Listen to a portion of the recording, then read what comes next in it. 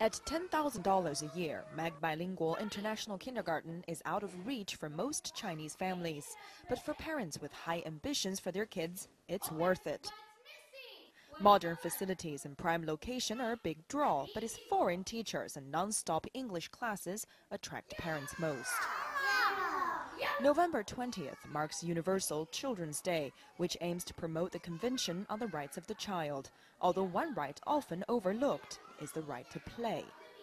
Kirsten DiMartino, UNICEF's Chief of Child Protection, says children learn how to socialize, communicate, and share, as well as solve conflicts through play.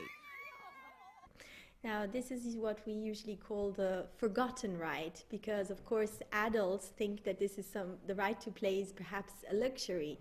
They don't realize that this is actually a necessity for many children.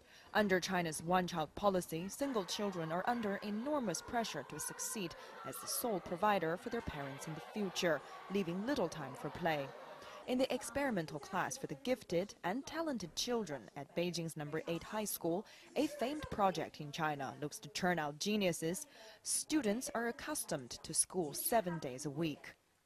Unlike other Chinese high schools, which admit students at 16, this class chooses 39-year-olds every year, preparing them for university at the age of 13.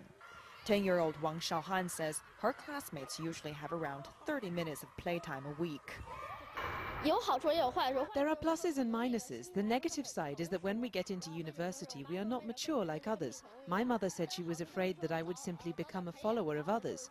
The plus side is that I can get ahead. My mother said the best time in life is college life, so she wants me in early. It's not a bad thing to start early.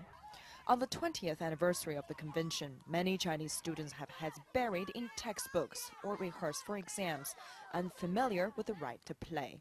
Kitty reporting.